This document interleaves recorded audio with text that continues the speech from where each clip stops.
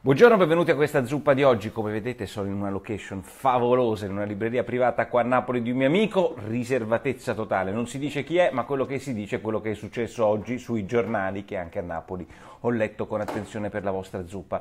Beh, ovviamente oggi il tema fondamentale è la battuta che ha fatto il Presidente della Camera Fico, che tutti quanti i giornali hanno ripreso, sul fatto che non è andata male la conversazione, il tentativo di accordo, eh, insomma, di dialogo con il PD da parte del Movimento 5 Stelle. Non è andato male perché dice c'è qualche spiraglio. Gli spiragli in realtà non ci sono perché fino a quando non ci sarà la direzione del 3 maggio, perché quello è un partito organizzato con le direzioni, gli organi consultivi, non si potrà dire se questo accordo c'è eh, ed è più o meno forte. Io vi dico subito come la penso, indipendentemente da quello che leggo su tutti quanti i giornali oggi. Questo accordo non ci sarà.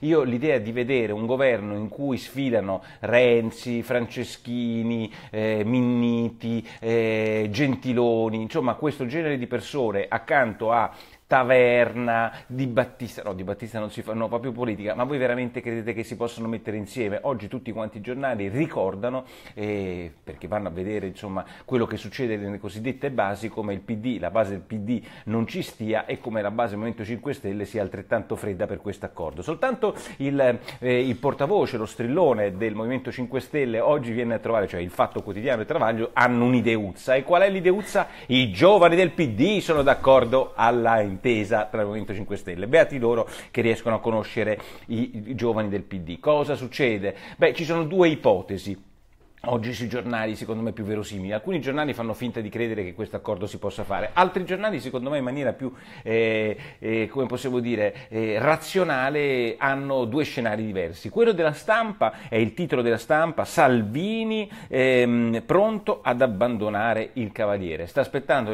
l'esito delle elezioni regionali in Friuli, Venezia Giulia, dove si prevede che Federica, un suo uomo, vada molto bene e a quel punto si ritorna a cavallo con il Movimento 5 Stelle. Che cosa avrebbe fatto Salvini? Avrebbe fatto provare a fare il PD, avrebbe preso tempo, avrebbe guadagnato posizioni in Friuli Venezia Giulia e forte di questa situazione, ma forte di una rottura dopo il 3 maggio eh, col PD, i tempi si sarebbero perfettamente chiusi per un accordo appunto tra Lega e Movimento 5 Stelle, che mi sembra l'unica cosa su cui stanno lavorando in tanti. E poi vi do un piccolo segnale di questa cosa.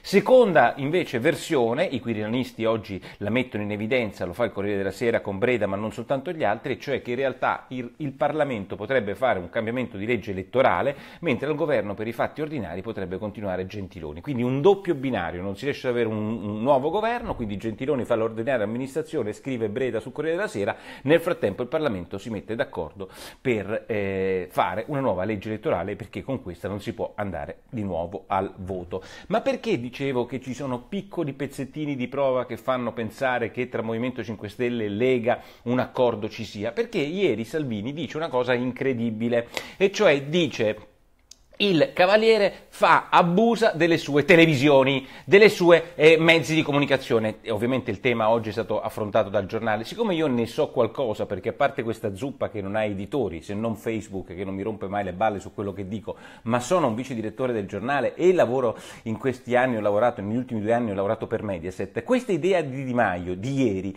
e cioè che le televisioni di Mediaset avrebbero fatto velate minacce a Salvini, io dico dove cacchio se l'è inventato inventata non esiste. Alla sua ultima stessa puntata la settimana scorsa, Matrix ha cercato di chiamare Salvini, che legittimamente, siccome ha tanti altri impegni, non è venuto. Abbiamo chiamato Federica, così come abbiamo chiamato tante persone del Movimento 5 Stelle che non sono venute perché evidentemente non volevano venire legittimamente. È venuto Toninelli. Ma perché il leader del Movimento 5 Stelle si preoccupa di un'eventuale minaccia da parte delle televisioni Mediaset nei confronti di Salvini? Che tipo di messaggio è quello se non una specie di grande amore? Non corrisposto per il momento da parte del Movimento 5 Stelle eh, per Salvini, posto che non è Salvini essersi lamentato delle velate minacce della, delle televisioni Mediaset. E ancora, chi sono questi conduttori e questi giornalisti di Mediaset che avrebbero minacciato Salvini? Nomi e cognomi, perché per quanto mi riguarda, e faccio un programma direi di informazione sul canale 5 che è la rete principale di Mediaset, e per quanto mi riguarda vedo Del Debbio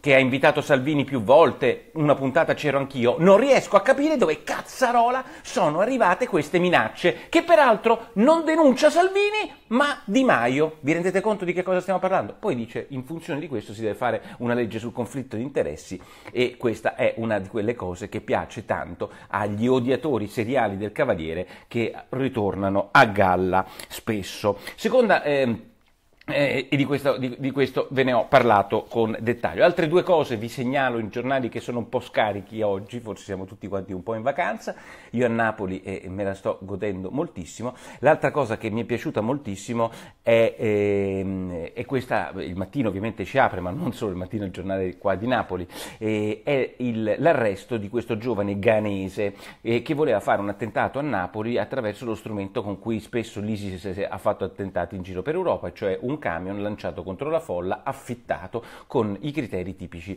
diciamo, degli attentati solitari, ma che solitari non sono, perché sono coordinati da una rete dell'ISIS internazionale, una specie franchising dell'ISIS, per cui si uccide in varie parti d'Italia. Però perché questa vicenda è interessante? Primo, è stata svelata dai servizi segreti spagnoli, che hanno avvertito quelli italiani che hanno arrestato questo energumeno. Secondo, questo signore è venuto in Italia attraverso i barconi, quindi quella cazzata che il PD ha raccontato per anni e non solo il PD, organizzazioni non governative, tutta quella gente lì, e cioè che i terroristi, i potenziali terroristi non venissero qua con i barconi, non era una balla, era una gigantesca balla. Quando Renzi dice di aver perso le elezioni per tanti motivi, perché noi siamo eh, forse dei populisti, forse non ha capito che la gente ha capito meglio di lui il rischio dell'immigrazione. Il caso di oggi non dimostra nulla se non una cosa, e cioè che il rischio di avere persone senza arte né parte in questo paese che arrivano senza senza lavoro, senza una, eh, documenti, senza una tradizione, senza voglia di capire che cosa vengono a fare, è un pericolo e tra di loro ci possono essere potenziali terroristi. Seconda cosa che abbiamo capito,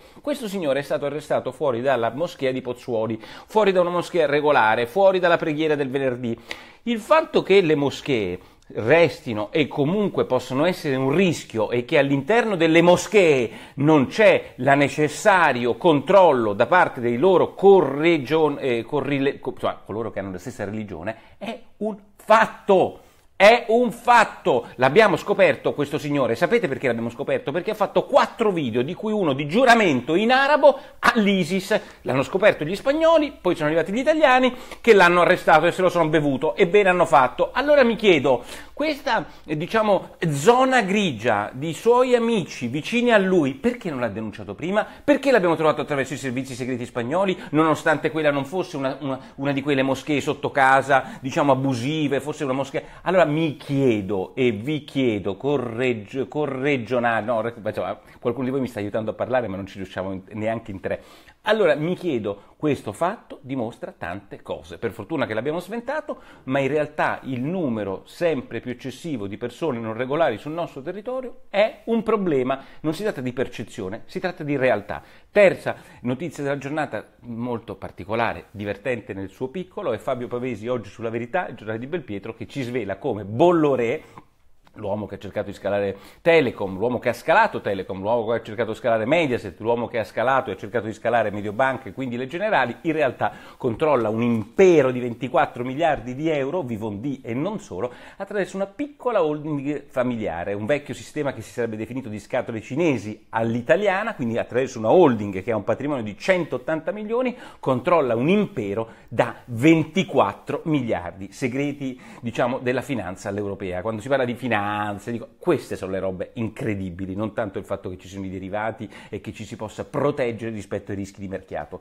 Straordinario Oggi Maurizio Crippa sul foglio, leggetelo, ritorno bomba sulla politica che ci racconta di Piff, l'uomo che vuole, mh, mm, l'attore, non so come definirlo, io so che è uno che faceva la pubblicità alla Falconieri, mi sembra un'azienda di abiti, e alla Team, e questo signore che fa la pubblicità alla e alla Falconieri è diventato il casalino dell'antimafia, ci racconta Maurizio Crozza. E Maurizio Crozza, Maurizio Crippa sul, sul foglio, pezzo da leggere gustosissimo in cui racconta come i nuovi intellettuali quali che vogliono l'accordo PD Movimento 5 Stelle siano in realtà eh, diciamo, eh, la nuova classe dirigente, i metran pensée del nostro futuro. Direi che per oggi basta, anche perché io voglio andarmi a vedere i vulcani qui vicino, ma non solo, le straordinarie bellezze di Napoli. Quindi un grande saluto a tutti voi.